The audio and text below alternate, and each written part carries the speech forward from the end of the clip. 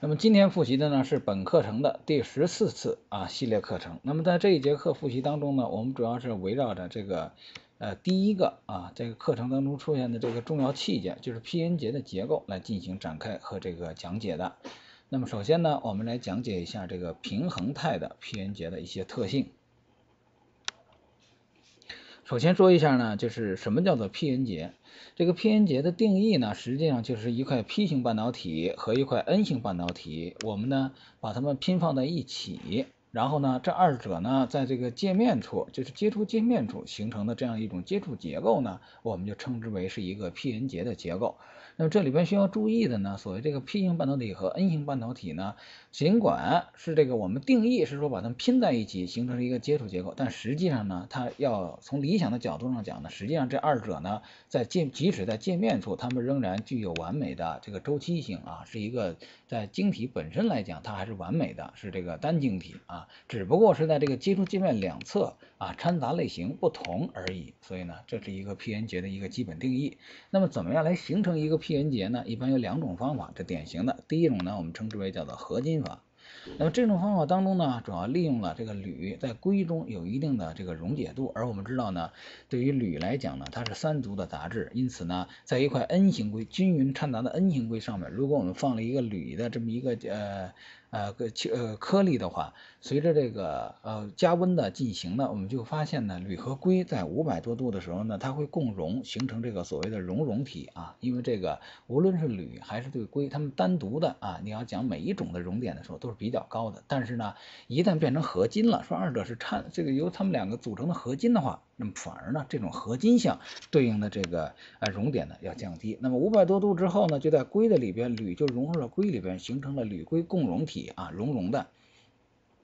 然后随着温度的降低呢，这个铝在硅中当中的这个溶解度就要降低，于是呢，铝就倾向于从硅当中析出，就是分凝出来。最后呢，冷却之后呢，我们就形成了这个如图所示这样的一种结构，那就是在铝啊，尽管析出了一些，但仍然在这个熔融的这个区间里边呢，冷却之后呢，含有一定量的铝，从而呢，在这个。呃，熔融体的这块部分里边呢，就硅的这个部分里边呢，形成了这个啊 P 型杂质掺杂为主的这么一个区间。如果用这个浓度图来分析呢，我们以这个从硅的界面作为 x 的零点出发的话，我们就发现什么呢？横坐标是 x，然后呢，我们就发现在这个 xj，也就是出现节的这个地方小于这个地方的这个范围之内呢，哎，它是这个 P 型杂质为主，因为铝的在硅当中的溶解度还是比较高的，因此呢。它这个受主杂质的浓度，因为铝是三族的，还是比较高的，而且呢是均匀的。刚才讲过，它是熔融体。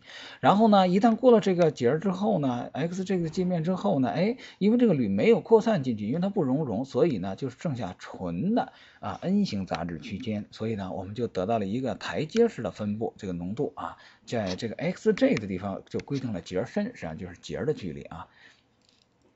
于是我们就有呢这样描述这个浓度分布这样一种突接变式、突变式的这么一种浓度分布图形成的 PN 结呢，我们称之为叫做 P 这个突变结。而对于这样的突变结，我们有两种常用的定语啊，一种术语，一种是说呢受主浓度，也就 Na 远远大于施主浓度，我们就称这样的结叫做 P 正 N 结，是要用一个加号来突出在 P 型区的杂质浓度很高。同理，如果施主杂质浓度远远大于受主的话啊，我们称之为 N 正 P 结，用一个加号来表示 N 型区的掺杂浓度非常的高。那么这是突变结，是指浓度在结附近啊，这个在结界面的两左这个两边呢发生突变。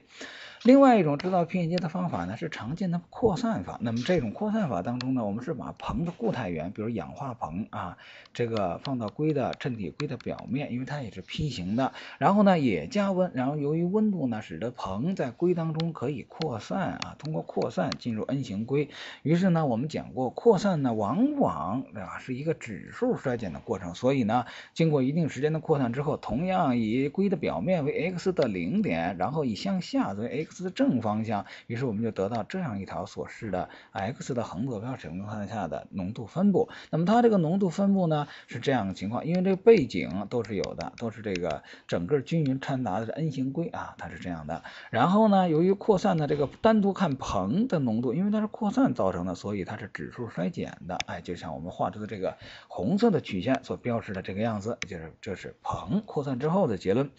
然而呢，在表面这些区域呢，由于硼的浓度比这个 Nd 啊受阻比施主高，所以补偿之后呢，净剩下的还是这个受阻啊，这显显示显示成为一个 P 型啊，整个在 Xj 这个附近都是大的。而在这个 Xj 以后呢，哎，这个问题就出来了，就是施主杂质浓度啊大于受阻，所以它显示出的这个补偿之后的净的掺杂呢，是导致施主型的杂质，也就是 N 型杂质。那么呢，在呃这个硼的浓度等于背景的 N 型硅的浓度这个点呢，就是净掺杂浓度为零这一点呢，实际上就定义了结深啊，这个就是 p-n 结的分界面，就是它的接触节界面了。那么呢，对这样的一种 p-n 结的浓度分布呢，哎，数学上呢，我们也引进了一种简单的假设，那就是说，我们认为呢，在这个结接触点的地方呢，有个切线啊，做它的这个浓度分布的切线，我们以这个斜率呢作为浓度梯度，于是呢，我们就可以写出什么呢？在这个以这个浓度梯度啊，阿尔法 J 啊所表示的。呃，这个啊重要的浓度梯度所表示的这个线，这个呃这个线性缓变节的浓度的这样一个关系式，那就是我们定义 Nd 减 Na 啊。等于阿尔法 J 乘以 x 减 xj，我们定义这样的节呢，因为它这个浓度变化是缓慢变化的，在节的界面两边啊，渐渐的变成强 N 型，渐渐的变成强 P 型，所以呢，我们称这样的节是线性缓变节。而线性缓变节的浓度分布呢，我们是用浓度梯度，也就是节是，也就是这个分界处节的地方的这个呃这个切线的斜率，然后叫浓度梯度来表示阿尔法 g，。于是我们就看到这样一个表达式，就是在。阿尔法 J 这个地方，Nd 减 Na，当 x 大于 xj 的情况下，那么当然这项大于零，实际上就 Nd 减 Na 大于零。于是我们得到的这个浓度呢，是这个 N 正的啊，是这个 Nd 的，是湿主型的啊，那这自然也很对，是 N 型的。那么 x 小于 x 的情况下呢，这个实际上是小于零的，自然而然的我们就发现是 Nd 小于 Na。于是补偿之后，它应该展示的呃展示的应该是受阻型，净受阻，所以呢，所以这个。节的左边实际上是 P 型的，哎，这个也正常。所以呢，我们对突变节啊常见结构两种啊这个理想结构，还有一个缓变节这样两种结构呢，我们就有了描述其浓度分布的方法。一种是在 x 的左边是等于 ANA 等于另右边等于 ND，那么突变是个常数；而另外一种呢是浓度梯度来表示的线性缓变节，那么这就是 P-n 节。那么对于 p-n 结来讲呢，它有一个重要的概念叫做空间电荷区。我们来理解一下什么叫空间电荷区。我们知道呢，对一块 P 型半导体呢，它假设均匀它呢，它内部呢均匀的充满了啊大量的空穴。对 N 型的半导体也一样，均匀的充满了呃这个充满了各种呃这个大量的电子。那么对于一个理想的实验来讲呢，我们把 p-n 结形成的过程把它画出来，就发现这 P 型半导体和 N 型半导体把它拼在一起啊，当然是理想的，当然在晶体上它还是完整的周期性的。于是呢，一旦二者形成一体体之后呢，由于这个 P 型区里边的这个空穴浓度比 N 型区里高很多，因此这个空穴当然为了维持一个浓度均匀，它努力的想要通过浓度梯度进行扩散。那对于电子也一样，要从 N 型区向 P 型区进行扩散。那么扩散的结果就是说什么呢？由于有载流子浓度梯度的存在，那么当然就要扩散。扩散呢，可是你要知道。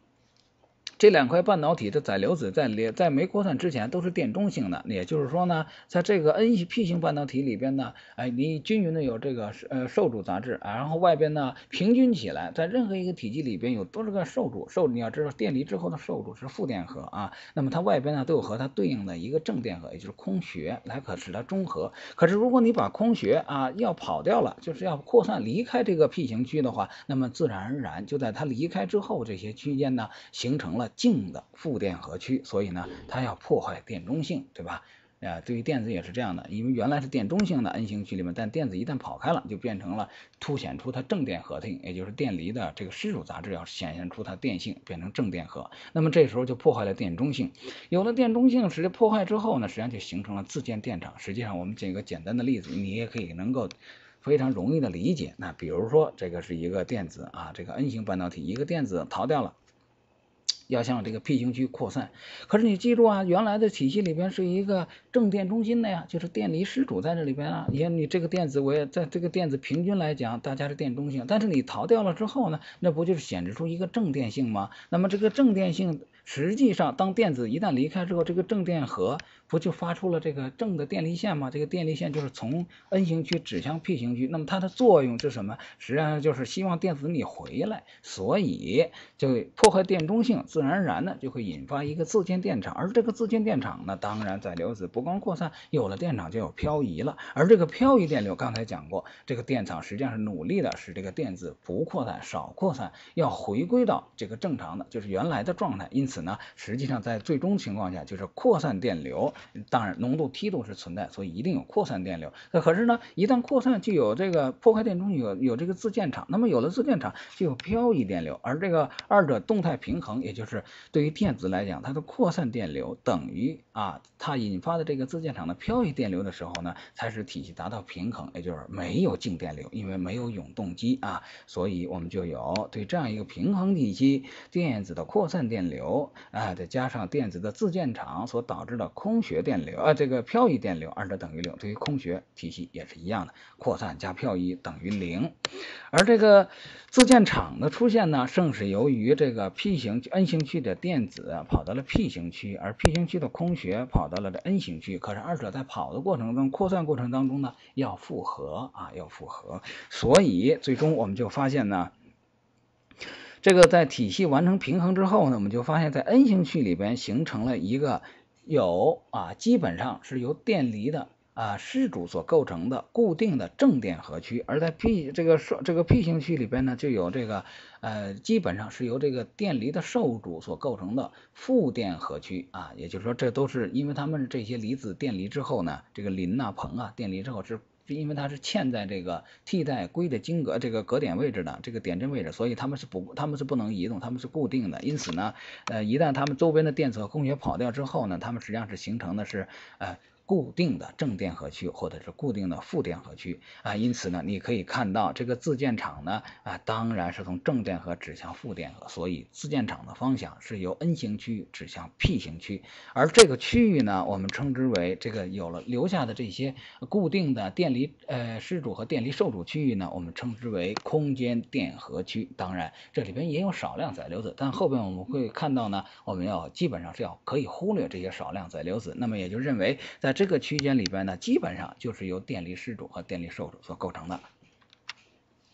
那么下一步呢，我们就要考察一下平衡 P N P N 结当中的这个费米能级是怎么样，因为这涉及到我们怎么来画能带图的问题。啊，其实呢，我们也知道，对于平衡的体系来讲，费米能级应该是均匀的，在各处是不变化的。但是呢，为了进一步强化我们对这个的认识，我们进行一些简单的推导。你可，我们可以看到，对于 P 型半导体的平，哎，这个没有形成 P N 结之前的平衡的能带图，你可以看到它的费米能级在靠近价带顶。对于 N 型的呢，在哎，靠近这个导带底啊，这是 P 型 N 型半导体。中间呢，这个 EI 是近代中线，它定价定位这个定义以二分之一 EC 加 EV，所以它在这个呃近代的中间。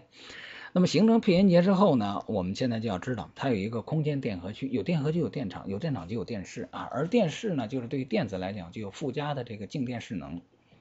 而这个附加的静电势能，我们讲爱因斯坦关系的时候已经看到了，它是直接叠加在这个导带底上面的，就是 E C X，就是导带某一个数的啊 X 的导带底，它应该等于啊原来的 E C 零平衡态的没有发生变化之前的这么导带，这是个常数导带底，再加上一个电荷负的 Q V X，这就是。由于这个呃电势的电场存在，引发电势所所附加的这个啊静电势能啊，所以呢你可以看到这个导带底要发生变化，呃考虑到近带又不会发生变化，因此价带顶也要和导带啊发生同样的变化啊，二者是这个完全一样的，这是保持在任何地方的近带宽度要是个常数，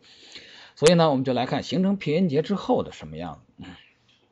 那么我们已经知道啊，这个在形成 p-n 结平衡态呢，对于电子来讲，它要扩散呀，所以它有扩散电流啊，而它扩散的本身就破坏电中性，就有一个漂移电流，有个电场，那么电扩散加漂移的平衡态是等于零的。于是呢，我们就把这个漂移电流写出来，这是有个自建场，然后把它的扩散电流也写出来，这个是有个浓度梯度啊，因为是平衡态，所以我们用 n 零来表示。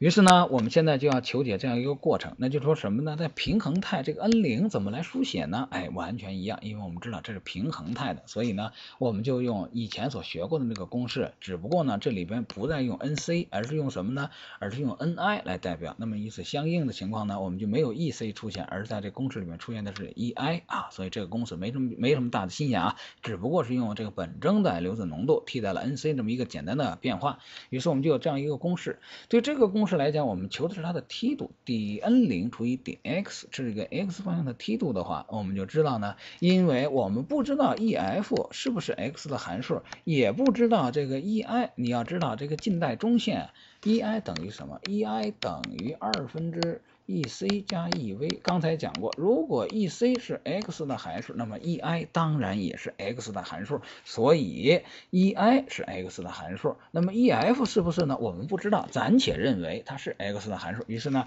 ，dn 零除以 dx，也就是说它的梯度就变成了这样的两项啊。刚才讲过。那么这两项里边有一项是可以削掉的，那就是近代中线的梯度是可以削掉。刚才讲过，这个 ei 等于二分之 ec 加上这个 ev 啊，你可以看到什么呢？因为这个。二分之 e c 加 e v 又可以简写成 e c 减掉二分之一 e g，哎，你可以看到就是什么等于什么地方呢？二分之一 e g，e g 是一个常数喽，所以呢 e c 减 e g 啊，这个是可以二分之 e g，那就是 e i 的这个位置了。而 e c 如果是 x 的函数，当然 e i 也是 x 的函数。可是 d e i d e x 呢？d x 呢？实际上后边的 e g 是个常量，是不起作用的。因此最终呢，起作用的实际上 d e i 除以 d x，也就是它梯度应该就等于导带底部啊对 x 的梯度。而刚才我们讲过，导带底部这个能量的变化应该等于平衡前导带底加上一个电子的。啊，电势能寄生的电势能，于是呢，dEc dx 从这个式子来看呢，它就可以直接是等于负的 q dV dx。所以你看，在我们这里边经过推导，我们就得到是这样一个公式啊，完全一样的一个公式。于是我们就得到什么呢？啊，原来负的底 V 点 x 不就是电场吗？因为什么？这个电势和电场的关系当然就是一个负梯度喽。所以，这经过这么一番分析，我们就知道 dI 和 dx 这个。梯度应该就等于 q 一啊，等于 q 一。那么有了这个关系，我们就可以把 dn 零写成这样一个啊，一个是含自建场的，另外一个呢是含我们要理解的这一项，就不知道费米能级是不是和 x 方向是均匀的。于是我们把这项带回去，梯度求出来了，带回去啊，带回去我们看一下，就得到什么呢？把这个公式带进去，我们就得到 Jn 啊，平衡态的。就得到三个三项啊，那么这三项当中呢，其中有两项哎正好相等，所以我们就削掉了，也就自建场项。于是呢，在平衡态这是等于零的，所以我们就发现得出一个重要结论：对于平衡态的 p-n 节，它的这个费米能级在 x 方向是不变化的。所以呢，在平衡态来讲，这是没有形成 p-n 节之前的。这个 P 型半导体和 N 型半导体的能带图，那么形成之后呢，能带图画呢，应该是先画 P-N 节，那就是这个费米能级，哎，先画一条直线，又是平衡的，我们得到一个费米能级。然后呢，我们又知道呢，它有一个空间电荷区啊，刚才也讲过了，这就是造成这个内键场的这个电荷分布。那么先把它隔离出来，先不画这中间的能带。那么在这个电荷区的外边，我们刚才看看到的是没有电厂的。因为这个电场自建场的存在啊，只是因为这个区间里边啊有，因为电子扩散和空穴扩散的结果就是引生出一、寄生出一个内建场。那么这些内建场不是无限无限宽的，它只是说什么，你有那么大浓度差，有这么大的扩散能力，我就有这么大一个电场对应。也就是说，只需要那么多呃空间电荷就够了，这个电场强度就完全可以阻止你的扩散了。所以呢，在这个空间电荷区的两边，哎，这个半导体仍然是电中性的。那么你知道电中性没有电场，也就是能带不弯曲的。所以在这个两边。边啊，仍然这个费米能级，你可以看到，它和这个 P 型半导体没有形成之前是完全一样的。所以你把 P 型半导体这个啊画出来，把 N 型的也画出来，在形成 P-N 阶之前完全一样的。那么在这中间呢，我们刚才讲过，电场是由 N 型区到 P 型区逐渐下降的。啊，电场电力线是是下降的，实际上就是电势电力线从 N 型区指向 P 型区，实际上是指电势是下降。那么对电子的电势能来讲，电势的下降乘以一个负的 Q，这就意味着它的电势能是增加的，所以它的能带就应该是这个样子，像我这样画，而是从这个 N 型区，因为电势要下降，电势能要上升，逐渐哎过渡到 P 型区。那么至于说这个 P 型区的过渡是直线啊，还是什么其他形状啊？哎，我可以告诉你，首先它不是直线，一般情况下它是个抛物线或者是三次方的曲线，因此呢，你千万不要把它画成一根这样的啊平行四边形的直线，这个是不对的啊，错误的概念。那么这个能带图呢，刚才讲你已经该会画了啊，先画费米能级，再画那个电这个这个这个这个这空间电流区以外的能带。那么画完了之后，中间呢，只要顺便呢，这个你让它连续的这个连起来，这样。就可以了。实际上，但是呢，它表示的寓意倒是说什么呢？从 N 型区到 P 型区啊，电势下降，电势能上升，是这么个概念。同时，你可以看到这个近代中线啊，因为它定义就是近代的一半，所以它当然你导带、价带都弯了，那当然它也开始弯了，所以这也也不足为怪。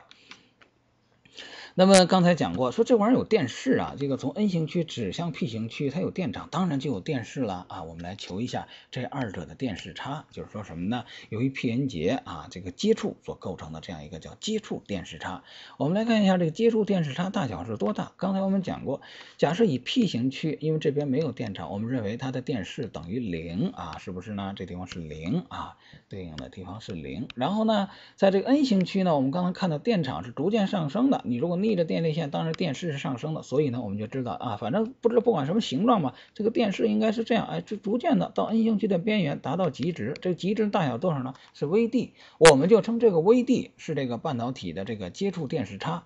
那么这个 Vd 呢，乘以一个电荷的这个电量 QVd，就构成了一个能量的单位，就电子伏特，实际上就是指能量，就是势垒的这么一个概念啊。那么我们来求一下这个 QVd 大概等于多少在平衡态？我们首先来分析一下 QVd 是怎么构成的。我们知道呢，这个定义这个这个接触电势差之后乘以 Q 呢，就称为这个势垒。那我们看到平衡之后呢，刚才已经都画了，像有一条统一的费米能级。然后呢，我们定义这个 P 型区的。呃，这个导带底部和 N 型区的导带底部的差能量差 QVd，我们称为这个势垒。因此呢，我们下一步就要分析这个势垒啊等于多少是怎么来的。因为我们可以看到这个势垒的来源呢，你可以看看它是不是等于啊中性区的这个 P 型半导体这边没有电场的 P 型半导体，它的导带底与费米能级的差距减掉啊，也是中性区啊电。空间联合区以外这部分区域，降这个 N 型半导体的导带底与费米能级的差距，那么这二者的差啊，这二者的差不就正好是 QVd 吗？所以从这点上来看呢，我们只要知道这个 P 型半导体，也就是没有这个呃电场的这个 P 型半导体当中的这个。导带底到价带，呃，这个导带底到这个费米能级的距离，比如说我们定为德尔塔一，或啊，同时知道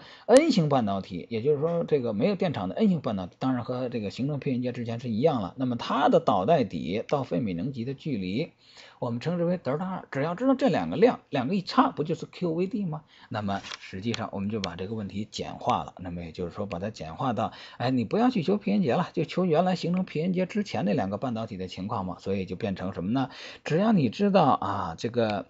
平衡前，这个形成 p-n 结之前的 P 型半导体的导带底到费米能级的距离，和这个形成 p-n 结之前 N 型半导体的导带底到费米能级的距离啊，你只要知道这两个的距离呢，你自然而然的啊，这个呢能级差，费米能级的能级差，你自然而然的就得到了这个 QVd。因为这二者半导体在无穷远的时候啊，它们不接触形成 p-n 结的时候，它们的导带底的能量和价带底的能量对于同一种半导体来讲是一致的，因此呢，也就是说 QVd 可以写成啊费米能级的差。那么这个写成费米能级的差，可大大的简化了问题的分析。我们知道呢，对于平衡态半导体来讲，你可以单独直接书写出这个啊已知浓度啊，因为这个里边的浓度实际上就是你比如强掺杂的情况，全电离实际上就是说多子的浓度啊，直接就可以写成这个呃这样一个公式，你可以直接书写出它的费米能级来。这个费米能级的书写呢，主要是这个载流子的浓度啊，一定要借助于本征载流子浓度来写，那就是变成啊 EF 减掉 EI 啊除以 KT 这样一个公式来书写。那么自然而然呢，这个 N 呢对于电子来讲就是 ND，对于空穴来讲呢就是 NA 啊，所以呢你把这个式子带进去，自然而然就可以求出这个费米能级 N 型的是 EFN，P 型的是 EFP。所以呢，你有了这样一个式子，一旦知道参杂质浓度，因为 Ni 的话对于一个材料来讲是固定的，是可以求。有的啊，所以呢，你自然而然就可以呃知道 N A N D 之后，就可以知道 E F N 和 E F P。所以呢，有了这两个，你把这个做差，那么就得到了 Q V D 当中的这个接触电磁差 V D 啊。这个 V D 呢，可以看到啊，非常简单。但实际上呢很重要，那么也就是说，只要你知道了 p n 结两边杂质的浓度啊，这个当然是均匀掺杂啊，再知道这种材料是什么什么温度，于是呢，你自然而然就得到 VD。那么对于硅来讲，这个公式虽然简单，一定要记住呢，这个公式要记在脑子里的。那么对于这样的一个情况来讲呢？哎，我们可以看一个例子，对于 n a 等于十的十七次方，这实际上是呃这个 P 型大于 n 型，实际上是可以认为它是个 P 正 n 节吧，啊，那就是 n d 等于十的十五次方，你把它带进去，对于硅来讲，我们发现 V d 等于零点七，我们学这个晶体管的时候呢，硅的开启电压就是零点七，而对于锗呢零点三，啊，它这里边算出来接触电势差就是零点三伏特，所以你看这个公式。虽然简单，但是多么的实用！和实验观测到的是完全一样的。当然，由于我们在推这些公式的时候用的都是这个玻尔兹曼分布，也就是非简并状态，所以这公式的成立前提是非简并的半导体。那么下边一步呢，我们就要分析一下，说这个你也知道电势差了，这都是一些宏观量。那么具体我要感兴趣的这个载流子的分布是什么样子呢？平衡的 p n 结当中，哎，这个也很好分布，也很好理解。那么首先呢，你的脑子里边就有一个图景，因为我们知道这个电场呢是从这个 N 型区指向 P 型区的，所以那个电势呢，如果在 P 型区这个电中性区啊，我们就指的是这些没电场区，电势为零的话，那么它的这个电空间电荷区呢是逐渐上升的，而一直升到这个。那，这个 N 型区的这个电荷区的边缘呢，它变成了这个 VD 啊，就是最高的，这实际上就是接触电势差 VD 啊，这是。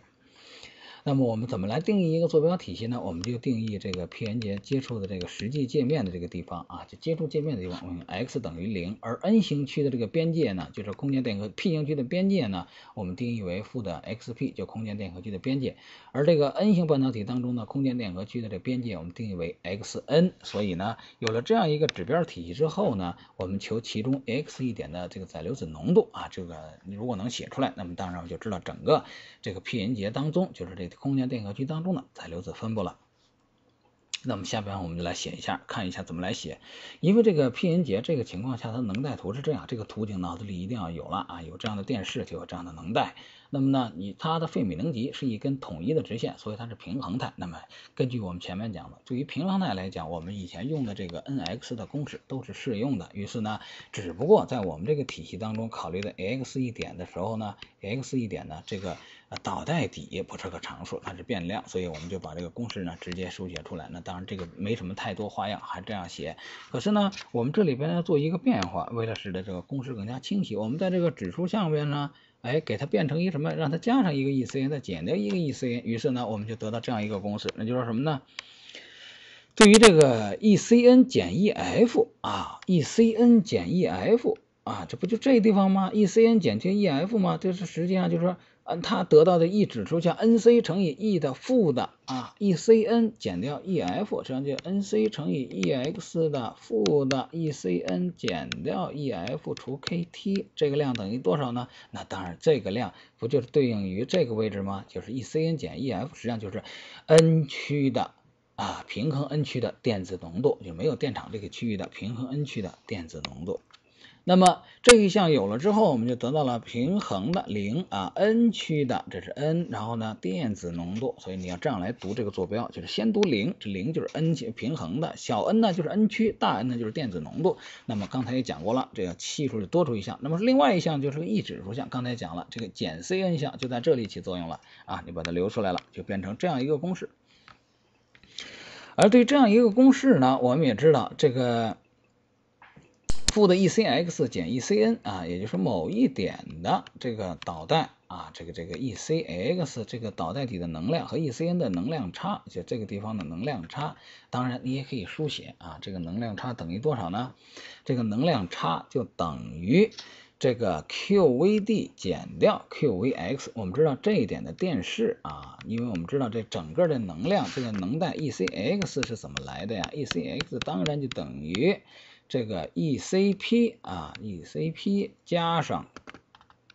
负的 QVX，这不就是因为这点电势是 V 呀，所以你要加上负的 QVX，就等于这一点的那这个这一点的这个呃导带底的这个能量啊。那么这一点呢，我们要和 ECN 联系起来，当然也很好联系。我们知道呢，你给它减掉呃一个 ECN，再加上一个 ECN 的话，因为我们要求的是。呃，两边减一个 ECN，那你减掉一个 ECN 啊，这边当然方程的右等号的右边也要减。那么 ECP 减 ECN，也就是这个量，ECP 减 ECN，这个量当然等于多少？当然等于 QVD 了。所以你可以看到 ECN 减掉 ECX 减掉 ECN 等于多少？就等于 QVD 啊。刚才看到 ECP 减 ECN 的，这是这么出来的，等于 QVD。减掉一个什么呢？哎，你看后边不就加上一个负的 QVX 吗？等于减掉 QVX，所以你有了这个式子，你把 ECX 减 ECN 一旦换成这样一个公式的话，带进去，哎，这个式子就简单了。简单到什么一个程度呢？因为我们知道这个，呃，它就变成这个，呃，等于平衡 N 区电子浓度乘以 EXP 的 QVD 减掉。QVX 除以 KT 啊，变成这样一个式子。那么这个式子有什么意义呢？哎，有很重要的意义。我们来看一下，当这个 x 等于负 xp，也就是我考察的是这个 P 型区的边界的地方，等于负 xp 这个地方。那我们知道呢，等于负 xp 这个地方呢。呃，这个电势是等于零的，所以呢，它应该等于平衡 N 区啊，这个等于零的，这等于平衡 N 区呃电子浓度啊，Vx 等于零，平衡 N 区的电子浓度乘以 E 的 QV 呃负 xp 这个地方电势是零，呃，我们就得到呢这个呃负的前面有个负等于平衡 N 区的啊电子浓度乘以一个。呃，E 的负的 QVD 除 KT 啊，而这个地方呢，我们知道呢，它代表的是 P 型区的边界啊，这电这个空间电荷区的边界，所以呢，它这一点的这个。电子浓度呢，又应该等于，因为这个地方能带没有弯曲是分界，它应该等于平衡 P 区的电子浓度。所以根据刚才这一系列的变换，你把它带进去之后呢，哎，令 x 等于负的 xp，那么电势等于零，所以呢，你就得到什么呢？原来平衡 N 区。电子浓度乘以这样一个衰减项，就等于平衡 P 区的电子浓度。这个也很好理解，为什么呢？因为我们考察的这个在这个呃 P 型区的空间电荷地呃分界线的这个地方呢。它对应的本身就对应的是一个平衡态，那么你要求这一点的这个电子浓度，当然它就等于平衡的 P 区的电子浓度，好和 N 区的平衡 N 区的电子浓度，实际上就是这些位置，就是 Xn 以后这些位置所有的这个电中性区 N 型区的电子浓度，它等于多少呢？它等于平衡 N 区的电子浓度乘以一个 E 指数的衰减项。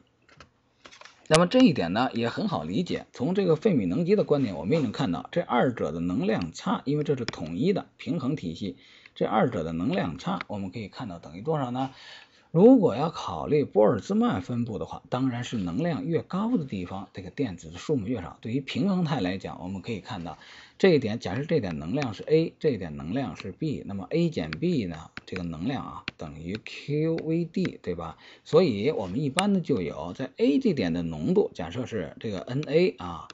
除以 Nb。啊，一般的定义就是这样，因为它能量高，所以它的浓度要比它低很多，低多少呢？等于负的 QVD，这就是能量。刚才讲过，二者的能量除以 KT 啊，一般就这样来定义。所以你可以看到这二者是不是符合这样一个简单的玻尔兹曼分布呢？只要你知道这一点，那么二者的能量差一知道，QVD 不就是 A 减 B 的能量差吗？一个负指数项，所以呢，你可以看到，对于这个 A 点，也就是 NP 零啊，就是平衡 P 区电子浓度啊，除以这个平衡 N 区的电子浓度，也就是 Nb，它当然就等于 E 的负的 QVD 除 KT 了。嗯，所以你可以看到，如果用玻尔兹曼的指数分布率来分析这样一个关系式，那自然而然的，因为它是平衡态，二者能量差又是 QVD，那么高的就比低的，呃，比这个就是能量能量高的地方的这个浓度要比能量低的这个地方的浓度低多少？低一指数了这么多倍。所以你有了这个关系之后呢，万变不离其宗，就很好分析对能带平衡能带图上的载流子浓度差别了。那么更进一步呢，我们也可以把它求出来，那就说什么呢？如果以平衡 P 区的，就是平衡的 P 区的电子浓度来表达上面这个式子的话，你可以发现这个呃平衡 N 区的电子浓度乘以 E 的 QVD，你把这个式子带进去之后呢，这不是有一项是这一项吗？QVD 项吗？我把它写成 NP 零，就是平衡 P 区电子浓度，那么剩余这一项啊就是。Y Vx 项，那么它我把它直接书写出来，那就变成什么了呢？就变成这样一个项。那就是说什么呢？我们发现，在这个空间电荷区，电子的浓度是从平衡 P 区的电子浓度，按照 Vx 我们看到，所以 x 的增加，这个势能是在增加的。那么在它这里边，实际上就是指数增加到啊，一直到边界处呢，它要变成这个平衡 N 区的电子浓度。那么同理，你也可以去分析一下 P 型区的啊，这个这个这个对于空穴来讲，它这个浓度分布同样也是那一堆东西。只要你掌握了玻尔兹曼刚才我讲过的这分布率啊，就是能量高的和能量低的这个浓度差差多少，哎，就差那个 E 指数倍除以 KT 的这么一个 E 指数倍和能量差有关系，所以你就可以得到这样一个公式啊。这个公式呢就告诉你呢，平衡这个。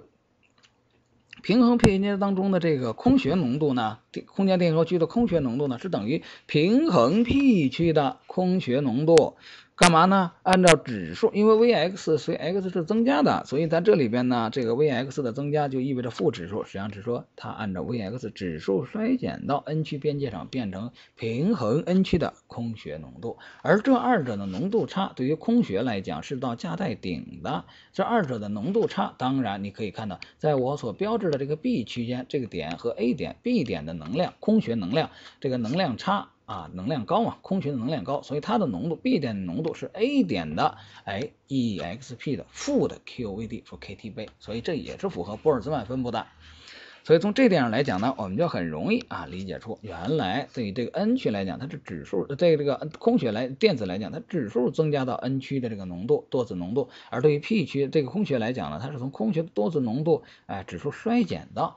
N 区的啊，平衡 N 区的空穴浓度，那么这个图景呢，脑子里要有这张图、这张图和这张图，脑子里要有。于是呢，我们就根据这个载流子浓度呢，我们就写出它的电导率啊。那么电导率呢，是和载流子的浓度有关的。刚才讲过，它们在这个空间电荷区都是指数衰减的啊，按照多子的浓度指数的衰减啊，所以。它的电导率呢，在电中性区，那当然是个常数了，因为这个载流子浓度多子为主嘛。但是，一旦进入了这个空间电荷区，我们发现它的电导迅速的下降，以至于在这个节的中心呢的位置呢，也就是说分界线左右呢，哎，它达到一个极值啊，在附近啊，在分界线的这个节接触界面的附近达到一个极小值，因为这个时候载流子是指数衰减，浓度最低，所以电导率很低。那么与此相反，它的电阻率当然。因为它是这样来定义的，电阻率就变成，我们就发现，在什么地方最高呢？哎，在节儿呢，在这个空间电荷区的电阻率是最高的。那么电阻率高意味着什么呢？如果在 p-n 节上面外加了一个电压的话，大部分电压都将降落在空间电荷区，也就是高阻区。那么，之所以我们说这个是个高阻区，我们来举个例子来看一下室内区中的载流子的浓度估算。举个简单的例子，我们假设只要这个 p-n 节是硅的啊，我们假设它的 Vd 等于零点七三百 K，同时呢，我们考察这一点呢，就是要考察这一点，这 X 点啊，这 X 点的浓度、电子浓度和空穴浓度。我们假设这一点特殊位置，就是这一点呢，比这个 N 区的导带底高多少呢？高零点一个电子伏特啊，这是指能量上高零点一啊。那么我们就来看这一点的啊电子浓度和空穴浓度大概是多少？前面用了公式，当然要用上这平衡态，这公式要用上啊。这公式呢，刚才讲了，它是从平衡 P 区的电子浓度指数增加到平衡 N 区的电子浓度。那我们要来看呢，这一点的电势是多少呢？QVx 是多少呢？哎，我们这里边要把它变换一下，为什么呢？这是平衡 P 区的电子浓度，是个少子浓度啊，这个不方便比较，我们把它换成平衡 N 区的电子浓度。我们知道呢，平衡 P 平衡这个 N 区的电子浓度和平衡 P 区的电子浓度正好。相差一个一指数倍，因为在能带图上刚才讲过的啊，二者正好差一 QVD，所以你把这一项带进去就多出一项，变成这样一项了。变成这样一项之后呢，我们就看到呢，哎，这个电子的浓度和多子的相关的这一项呢，哎，写成这样的。对于这个空穴也一样，因为空穴本身我们写这公式的时候就用的是多子，用的是 P 区的多子，所以我们就不用变换了。于是这公式就是它本身。那么现在我们就来写了啊，这里边没有 E 啊，这是能量啊，能量这个是伏特。那么对于这个像这样一个位置啊，它比这 N 区这个比导带底多零点一电子伏特这个位置，它对应的电势是多少呢？哎，我们刚才讲过，电势呢应该是从这一点啊，从 P 区为零逐渐增加到啊 VD 的，所以这一点的电势啊，你要注意这一点的电势是 VD 到这个啊到这个 Xn 这个位置是是这个。，VD，而在 XP 负 XP 这个位置是零，所以这一点的电势是多少呢？这一点的电势实际上，如果我们命名 VD 等于零点七的话，那么这一点的电势实际上是零点六，因为它和导带体的距离是差零点一电子伏特，那实际上也就是说，它离这个呃极值电势的极值相差零点一伏特啊，这一点，所以我们就有了，那么这一点的电势应该是 VD 减掉零点一伏。那么进进一步，我们把这些关系带入这个公式当中，我们就可以看到，对于电在流子来讲，QVx 减 QVD，那么就是这一点喽，它就变成负的零点一伏乘一下，那我们可以看到呢，那么这一点的电子浓度啊，也就这一点的电子浓度是这个 N 区啊这个多子浓度的五十分之一，而这一点的空穴浓度是 P 区的空穴嘛，这一点 P 区空穴的浓度是这个。呃，P 这个 P 区多子浓度就是平衡的啊，这个这个 P 区多子浓度的多少呢？十的负十次方。所以你可以看到，在这个空间电荷区当中啊，这个载流子就是 N 啊和 P 电子和空穴都远远的低于它们各自的 N 区的多子和 P 区的多子。那么也就是说呢，我们引出一个重要的概念，叫做耗尽层近似。也就是说什么呢？说室垒区或者说空间电荷区当中呢，载流子的浓度和这个。呃，它们掺杂浓度相比呢，是可以忽略的。这个就是掺杂浓度啊，这个掺杂浓度就是空间电荷区电离失主和电离受主的浓度。因此呢，载流子的浓度可以忽略，那么空间电荷区的这个电荷密度、静电荷密度，它就可以近似等于电离杂质的浓度。那么由于我们忽略了载流子的存在，这电子和空穴存在，就好像在这一层当中呢，所有的电子和空穴都消失了。因此我们称之为耗尽层近。似，那么这个近似呢，为我们以后的计算呢提供了很大的方便，所以呢，哎，我们一定要掌握这样一个概念。那么这就是今天复习的内容。